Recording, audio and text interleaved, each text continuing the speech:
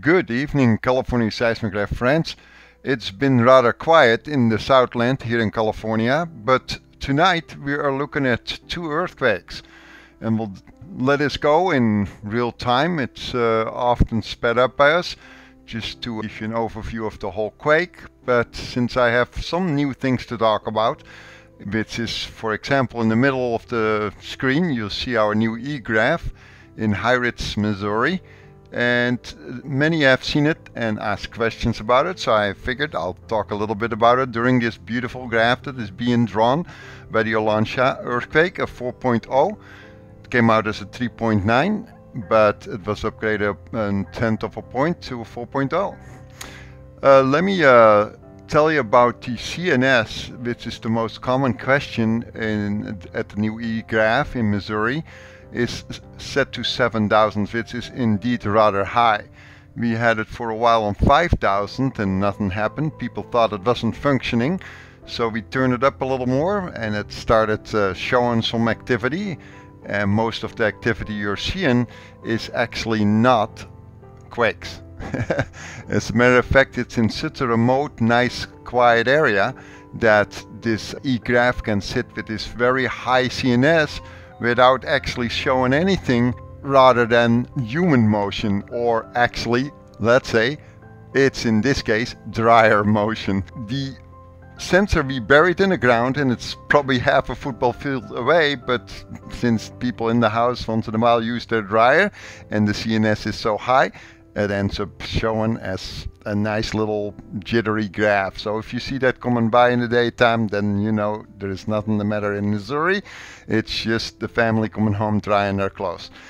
anyway, I just thought I'll put that out there for you so you might know, and hopefully we do see some action on there someday. As a matter of fact, as you look down at the E-graph here with the CNS just at 800, it's picking up just beautifully in a speed twice as fast as we usually have it. it the line speed you can see there is 2.0 rather than 1.0 and it just uh, made a beautiful graph. So did our ink and paper drum on the right top and you see the overall picture on the very top in the middle there. As you can see left on the top it shows a 3.9 at uh, 1849 this evening. So we're glad you're here. If you're new to the channel please uh, give us a thumbs up if you like it and subscribe. That way you'll get uh, the notification bell our uh, up-to-date information about new earthquakes at any time well, this is our first earthquake this evening. Now we'll go and check out quickly on the second one that happened, which came out as a 3.8. I'll go over there right now. It has definitely a clearly a different run-in. The beginning of the first quake clearly showed the quake actually starting to happen. This one has just just a little less of that showing up but it's also just a smaller earthquake, a slightly smaller earthquake in the same location. And I'll let this run real time for you too, so you'll get a feeling of what it looks like in real time as an earthquake occurs about 200 and no sorry 170 miles away from us so I'll take you there in a second we'll look at the map of where Olancha is and it's just also another nice graph that is being drawn here by both the e-graph as well the seismograph itself on the right top. Okay, let's look at what we have on the distance here. I'll minimize this a little bit. And we'll look at the latest quakes here. There it is. Olancha 4.0. Absolutely smack down on the right, same spot pretty much. And that's a 3.8. Here's uh, our map let's look at the distance from there by Owens Lake, right underneath here. It's about 172 miles to Garden Grove. It's due north too.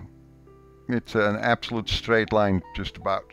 So if you are new or you're not but you have never really visited our site and you're not familiar with the videos we have, you can just go and click here on the bottom left then you can hit the videos here and you'll find all our videos here. We got about, about 100, uh, 150 plus or so videos now.